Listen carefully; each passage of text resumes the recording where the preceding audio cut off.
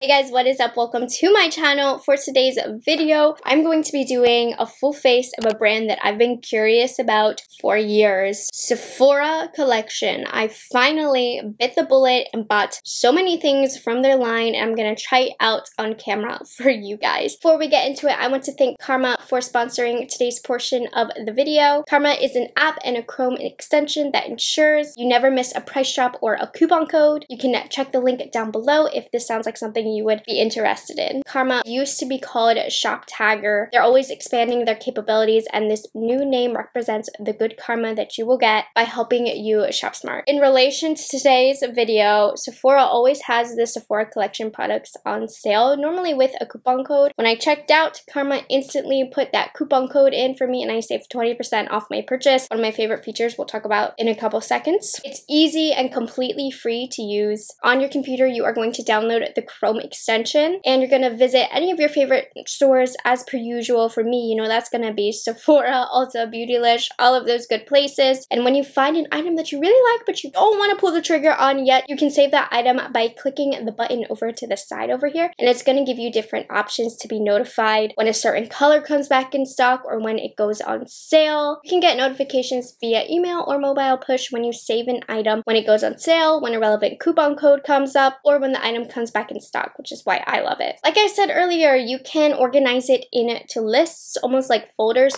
So for me, I have my lists in makeup for you guys that I'm looking to come back into stock, makeup that I've saved that I'm looking to go on sale, and then also, of course, my personal purchases like clothes and other makeup that I am watching out for. These multiple wish lists are going to be great because they can help you shop more mindfully and intelligently, especially if you're trying to save money during these times. And my favorite part about Karma is that it scans the web for coupon codes before you check out automatically, and then it will apply them at checkout. This is a special feature if you use Karma Karma on your desktop, so make sure you do have the Google Chrome extension. You can also earn cash via PayPal when you shop at select retailers. So if this sounds like something that you are interested in, you can get Karma by clicking the link down below in the description box or typing this link in right up there. It's easy to do, it's free, it saves you money. So if you want to download it, make sure you do that. Again, thank you to Karma for sponsoring this video. Let's get into the good stuff. Now, if you aren't familiar with Sephora Collection, they are Sephora's house brand and their claim to fame is that you get Sephora level quality, you know, high end makeup quality at a more affordable price. So, what I'm seeing by kind of looking at my table here where I have all the stuff, all the good stuff, seems that hopefully the quality on the inside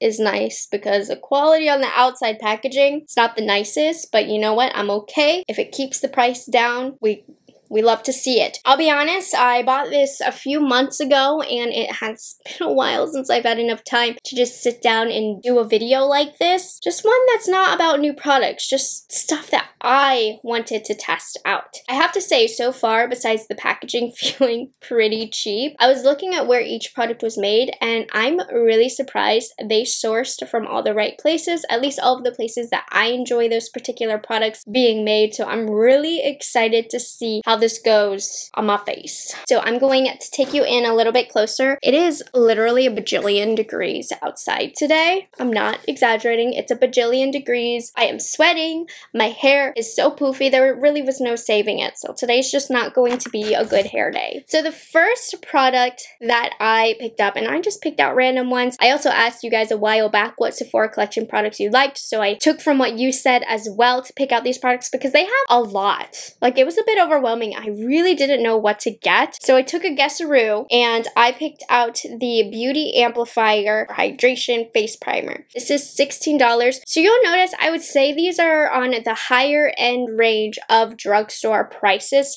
for the most part. You know, they're not quite a high end price, but they're not quite a drugstore price. They're sitting right in the middle between those two. So this is interesting. I did film my swatches for these. I haven't actually put them on my face, but look at this. This is like a weird bluish color. I thought it was going to be minty.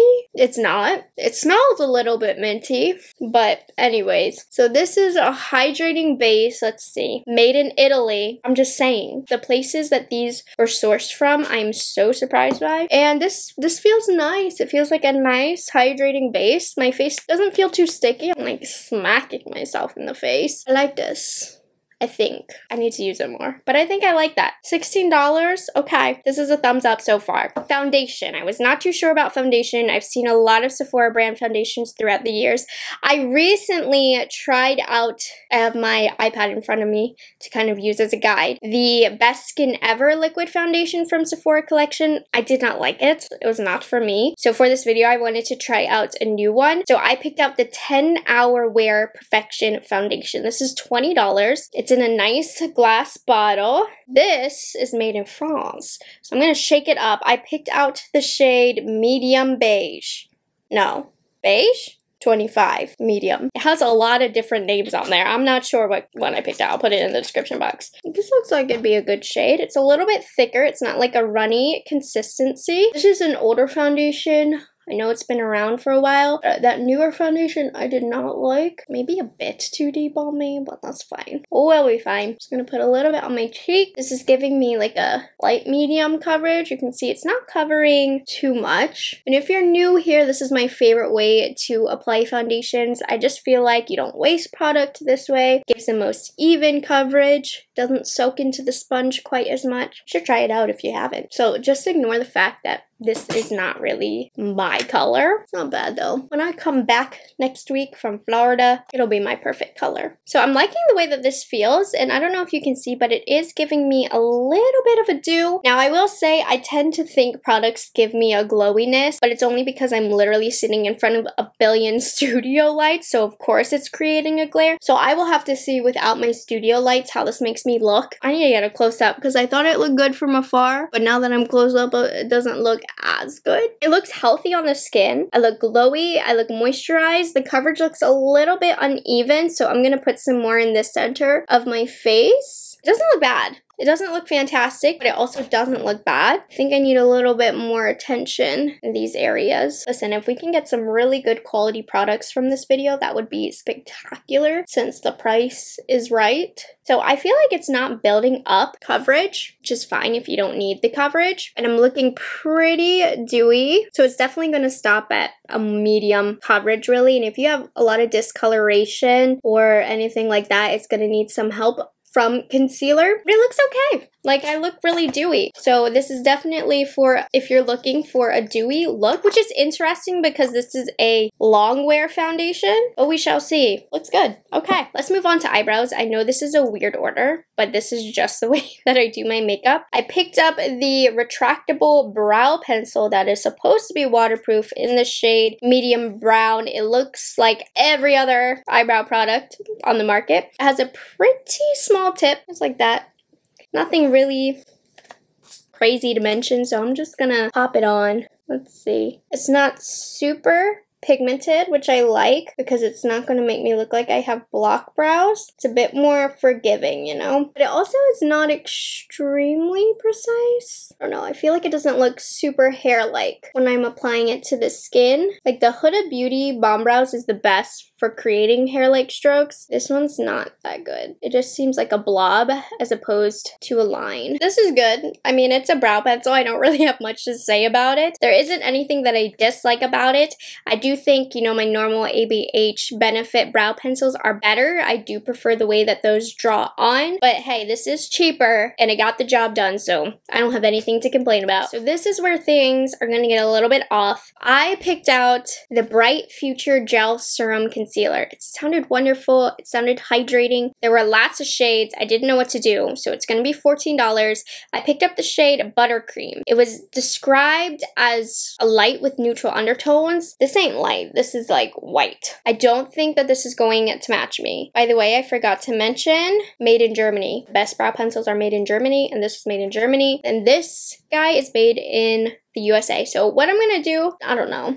I don't know what I'm doing. I'm trying to get away with using this concealer that I fear is way too light for me. I'm going to put a little bit of the leftover foundation on my sponge on my under eyes just to cover a little bit. We're going to use this more as a highlighter. This is not a light with neutral undertones. It's not. Okay, let's see. If it doesn't have a lot of coverage, won't be a problem. She's very brightening. Looks really hydrating on the under eyes though. But I think going back, I'd get the medium with neutral undertones, which is the shade Custard, because this is a bit lighter than I would prefer. So if this ever happens to you, you get a crazy light concealer do what I'm doing right now. Try and make it look a little bit more intentional by highlighting the face. Be careful when you put it down the nose because it can make your nose look a little bit wide, which is what I just did, but whatever. It's fine. Okay, so taking a closer look though, it looks really hydrating. You're not going to get too much coverage from it though, so don't go to this if you want some coverage because taking a look, they do have some concealers that do claim to give you more coverage. This isn't one of them. This looks like it'd be nice with the skin tint or tinted moisturizer. With the exception of my Dum Dum on my part with that shade match, it looks pretty good. I like it. Okay, so this was the product that I was the most excited about because this is the one product that so many of you guys recommended to me so I knew I had to get it. This is the Microsmooth Baked Powder Foundation. It's $20 and it so many of you guys said it was amazing, so I'm going to take your word for it. I got it in the shade Light, and see this light actually looks like a light. I mean, you can see the difference between their two versions of light here. This is made in Italy where the best powders are made. So let's see, I'm to put it under one eye first. This is a Rephr number 19 bar. Oh yeah, she's smoothing. She is very, very smoothing. Let me take a look at the difference between the two sides. That really smoothed my face. It reminds me a lot of the new Jaclyn Cosmetics powders that came out. I don't know if you can see, there's a weird bit of texture here, but that's been happening recently, so it's leading me to believe it's a me problem, not a product problem. Ooh, I like this. Now, it says it's a powder foundation. I don't know what it would look like with the coverage built up, but as far as a setting powder, it is very, very smoothing, really pretty, I like what I'm seeing. This looks really nice. So you guys led me in the right direction. This is my favorite product that I've tried so far. I did manage to buy the most expensive thing that the brand carries because I'm me and I couldn't help it. But this looked beautiful. This is the Sephora Pro. So I guess it's a different collection and I'm sure the products are going to be a little bit more expensive. But it's the face palette. It's ginormous. You can compare it to my head. This is $58. So easily the most expensive thing that Sephora collection offers. But look how beautiful it looks. And when I was swatching these, you can definitely use these as eyeshadows, especially the Showtime shade that's glittery right here. Use them as eyeshadows, but this is like a full-on cheek palette. It has bronzer, blush, and highlight. I'm not gonna dig into all of the shades today just because I have some individual blushes to play with, but it reminded me a lot of the Morphe blush palette, just packaging wise, but the Sephora definitely feels a lot higher quality with the packaging. This is made in Canada, so a lot of great face powder products are made in Canada. I know the Wayne Goss is made in Canada if you need an example. We're gonna start off for now by just using the bronzers in here. Then I want to use the individual blushes and we might come back into here. So I'm going to start off with Art Deco. This is a cooler shade. So we're going to use this to contour. I don't know why I decided to go in with the largest brush ever for something that normally should be used precisely, but whatever. So I like that this does have something to sculpt with. Okay, let me use this right. Also, this foundation did not dry down and it's very sticky. So I'm to go in with the powder again just to kind of set everything. I will say packaging of Sephora collection is not their strong suit because everything feels like it's gonna break. Okay, I'm gonna use a Morphe Y9 to sculpt. Just gonna use a little bit because you can see it's good. It's quite ashy. It's a contour shade. That's how it should look. I really don't use contour shades too often. I just don't feel the need to. Hmm, that was nice. I added a nice sculpt along the jawline. I really liked that there. Okay, I just want to use a little bit. And then we're going to go into Muse, which is the bronzer. So I would say two contour shades, two true highlights, two blushes, and I don't really know, three blushes. One, two, three, and then I guess that's a blush. I don't know. That looks like an eyeshadow to me. So I'm going in with this Muse bronzer, and it's not showing up too much on my face. It's slightly showing. It's blending pretty nicely. Okay, we're gonna put this palette to the side. So far, I don't know if it's worth the $58. I haven't had a problem with it, but the wells are so big, I wish the wells were smaller for a smaller price because $58 is a lot. We might come back to that, but first I bought two individual cheek products that I want to cover. So I got their So Shy blush.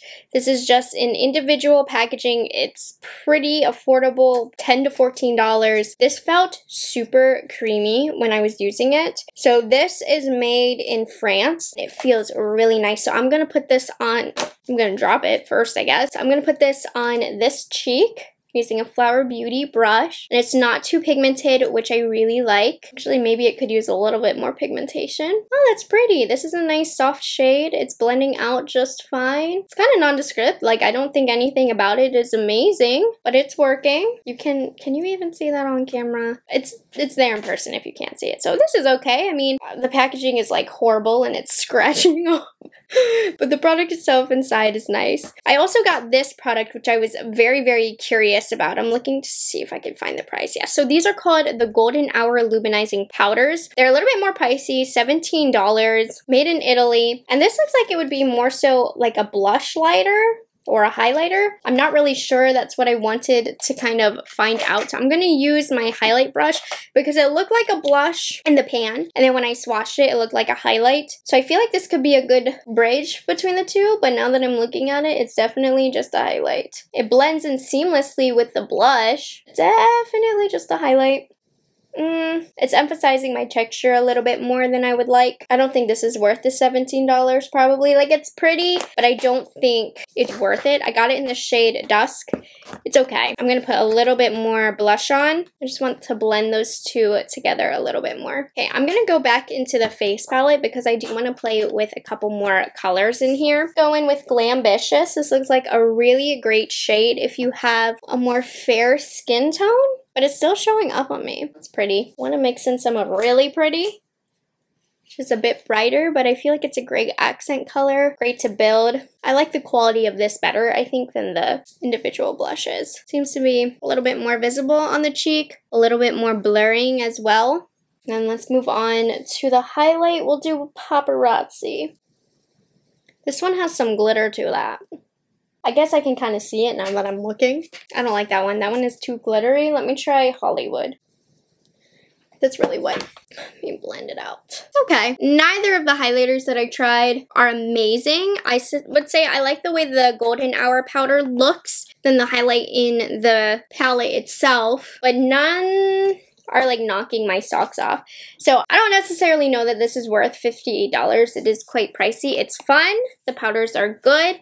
It is expensive. I think I'd rather get like a Natasha Denona palette, but that's just me. That's my two cents in case you cared. All right, we are to move on to the eyes now. And I wasn't too sure about which eyeshadow palette I wanted to buy. There weren't that many. I always remembered there being a lot of eyeshadow palettes and I swear I didn't see them. So I think I saw Lisa J. She really liked these Eye Love palettes, so I picked one up. These are made in China, and I will be honest, I was a little bit skeptical about them. I am an eyeshadow snob, I know it, but when I swatched these, they felt very, very creamy. So the price of these, let me double check, are $14, which is really great. You get seven shades. There's lots of different tones. There's a light cool palette, there's a medium warm, light warm, medium cool, deep cool, deep warm. I love that. Which one is this one? I got the medium cool, and these look like really pretty colors. So I'm going to put just a touch of foundation on my eyelids, clean everything up. I'm to start off with this nice big base shade that I really love that they put in here. And I am popping this all over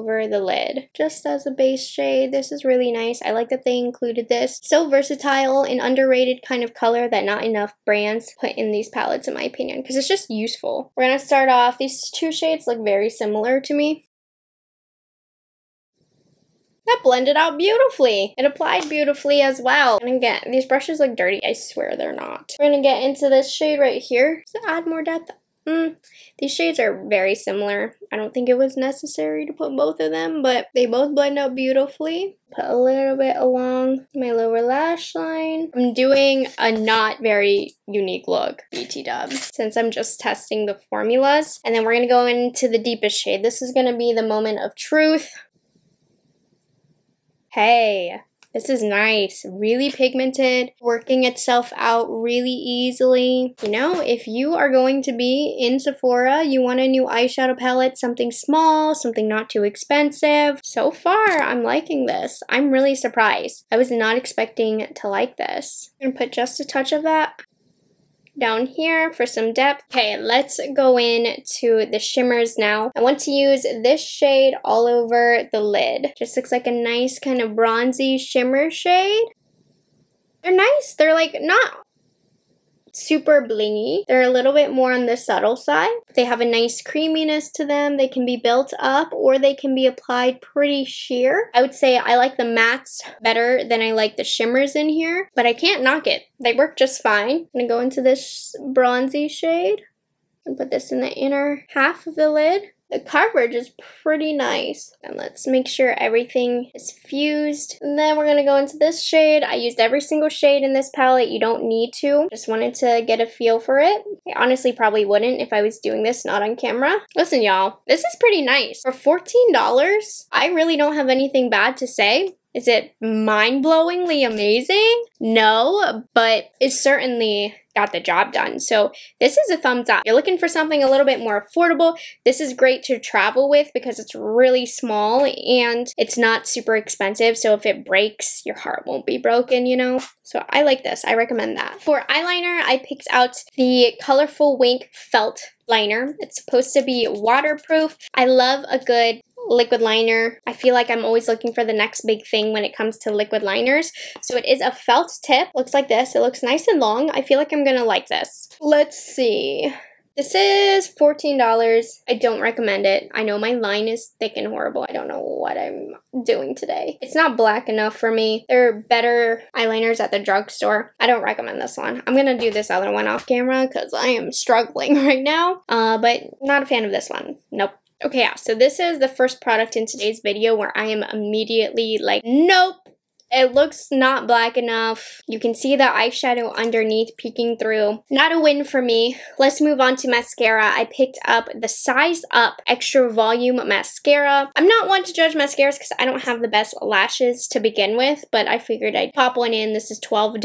It has a nice big fat spoolie. Let me see if it does anything to these lashes. Hey, you know, this mascara made something of my lashes. It did start to get a little bit spidery because I kept trying to build, so maybe don't build too much. But like this side looks really good. This is a decent mascara. I like it. That's a lot for me to say about a mascara, so I like that. I did get some false lashes, a couple of different styles to play with. We have Swanky and we have Feisty. I think for today, I'm gonna pop Swanky on. I'm gonna do this off camera because it's to take me like 20 minutes. So I'll be back. Okay, lashes are on. I have to say, not too keen on the lashes. The band was hard to manipulate. I just feel like, you know, an Ardell is so thin, it molds to the eye really easily. I struggled to get this one to mold to the eye. The lashes themselves, they're pretty, they're natural. They're not my favorite, but the band was an issue for me, so I don't really recommend the lashes. I don't know, maybe Feisty will be better, but at least Swanky, I'm not a fan of that. Lip liners. So these are good. I use these in my makeup kit. I actually got three new colors to put in my makeup kit. These are $13 and I picked up three shades. We have a light pink in Midday Rose. We have Creme de la Creme. This is one of my favorites for brides. And then we have Nothing But Nude. These look absolutely beautiful. We're to do Nothing But Nude today. I haven't tried this color yet. These are really creamy. They aren't necessarily like long lasting, but you can put these all over the lips as lipstick. I love the color range that they have. You can see that? So pretty, so hydrating. That's a really pretty color. I recommend that one. I also picked up a liquid lipstick. Some of you told me that their liquid lipsticks were good. I picked it up in the shade 71. This is made in Italy, but look, my packaging came broken. I can still get the color off, but my fingers get all gluey. I don't know. I'm just gonna put a touch of this on. Really beautiful color. It has a slight vanilla scent, made in Italy. Honestly though, this feels really nice and lightweight. I think I like this. I'm gonna wait for it to dry down a bit, but the last lip product that I have, I didn't spend too much time on lip products, uh, but this is the Outrageous Plumping Lip Gloss. I was very intrigued by this. I loved the packaging. It's $12. Let's see. I got the shade 01 Clear. Made in Luxembourg. Interesting. So while that kind of settles on the lips, mm, it's starting to get minty. I can feel it. We're going to finish off with the Set Spray. Set and Refresh Spray. Decent mist. It can be a little bit hard if you put it too close to your face, but a little bit far away. Nice. It feels refreshing, but it has like a slight alcoholy scent that I don't like. Here is an up close of the makeup. Okay, so I would say taking a step back, looking at my skin, the foundation does look a bit heavy.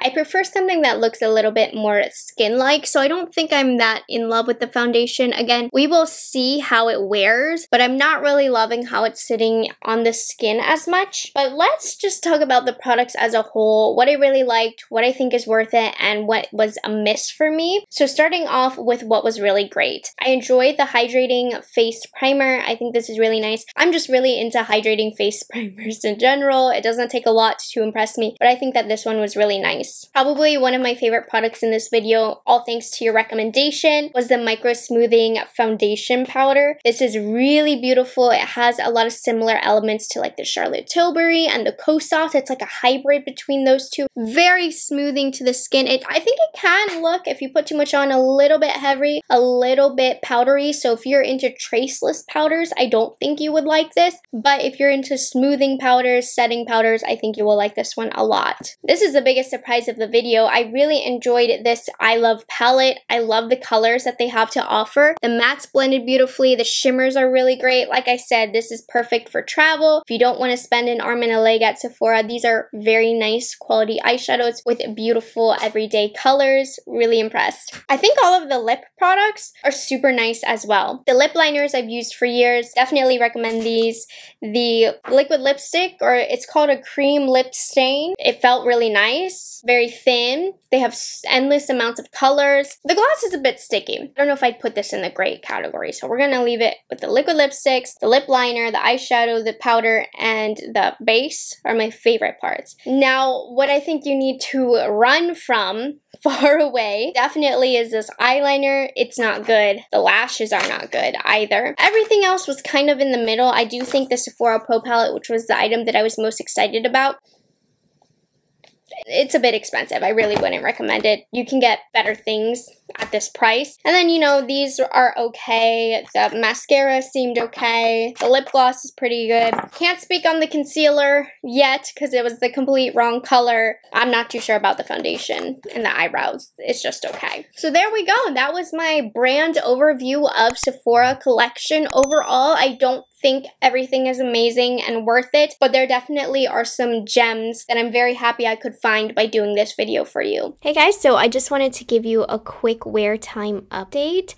So I haven't been wearing the makeup for too long, like this isn't like a 10 hour wear test by any means, but I've been wearing the products for almost 6 hours now and before I took it off I wanted to give you an update. The longevity of the lip products was amazing. I ate sushi and they still stayed on. Now, I don't know if it was the liquid lipstick, the lip liner, or the lip gloss, but the combo of all three was really long lasting. I mean, it's six hours, it's not on anymore, but I was impressed by that. The foundation, it looks better. You know, I wasn't too sure with that application, but now that it's settled into the skin, it looks much better and it's held up well. It hasn't wore down. The only thing is, it doesn't give like a skin like finish. It looks a little bit heavy on the skin, so if you don't like that look, then don't go for it but it's wearing well.